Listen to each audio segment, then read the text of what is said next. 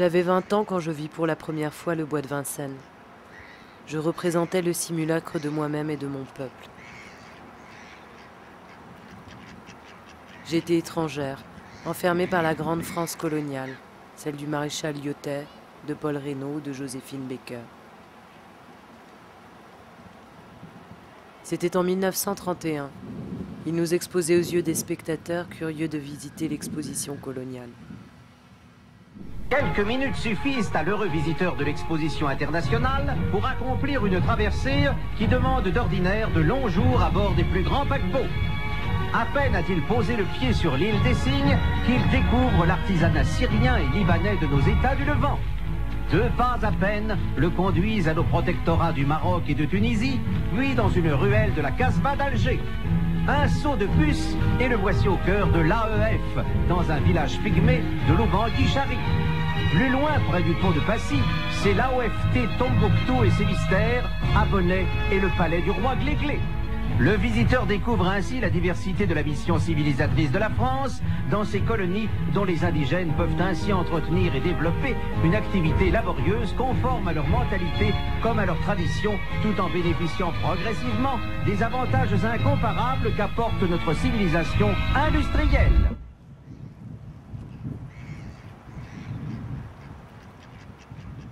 Nous étions adolescentes au sein nu, exhibées au regard concupissant des visiteurs.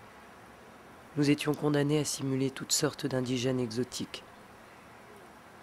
Nous étions canaques, enfermés dans nos cages, nous devions jouer au cannibale pour impressionner le public.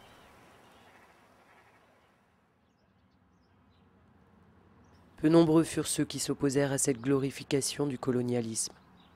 Le Parti communiste organisa une contre-expo et les surréalistes dans un tract crièrent ⁇ Ne visitez pas l'exposition coloniale Ne visitez pas l'exposition coloniale Ne visitez pas l'exposition coloniale !⁇ Plus de 8 millions de personnes ne suivirent pas cette consigne.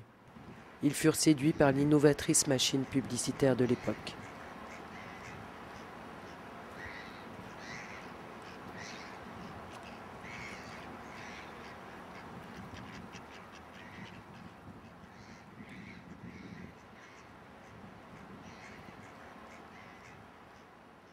J'étais agressive.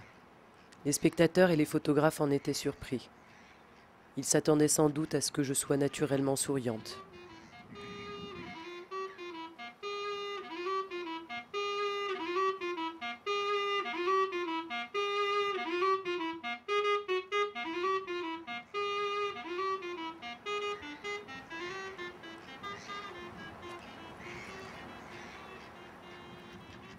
J'ai 20 ans et je me promène au bois de Vincennes.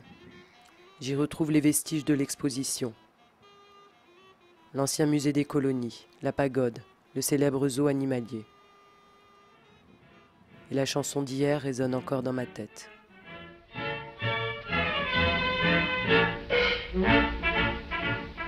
Quittant son pays, un petit négro de l'Afrique centrale vint jusqu'à Paris voir l'exposition coloniale. C'était Nénuphar, un joyeux lascar. Pour être élégant, c'est aux pieds qu'il mettait ses gants. Faut pas croire toujours tout ce que Nénuphar raconte. Ainsi l'autre jour, il m'a dit quand je fais mes comptes. À la craie, j'écris sur le dos de ma chérie. Et d'un coup de torchon, après j'efface les additions.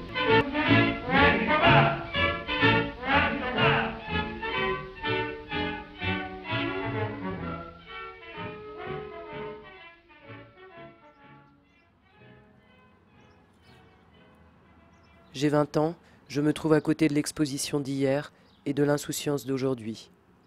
À nouveau en cage, mais caché du regard des badauds, interdit au regard de ceux qui voudraient savoir. En attente d'être expulsés, nous sommes enfermés parce que considérés comme étrangers indésirables. Nous sommes au centre de rétention, juste en face de l'hippodrome.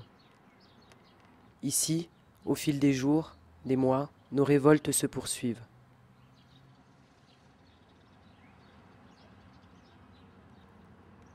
Le 21 juin 2008, Salem Essouli est mort. Il était malade. Les policiers qui nous gardent lui ont refusé les soins dont il avait besoin.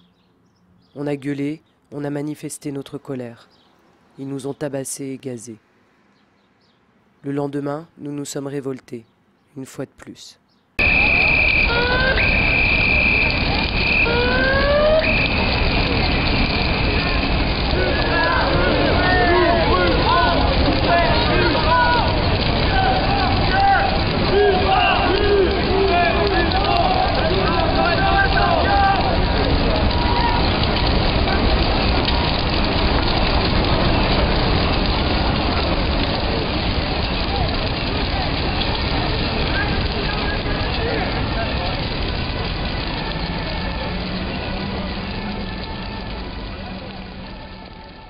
Aujourd'hui, je ne suis plus au bois de Vincennes, mais je suis toujours enfermé. Aujourd'hui, je suis accusé d'avoir participé à la destruction de notre ancienne prison.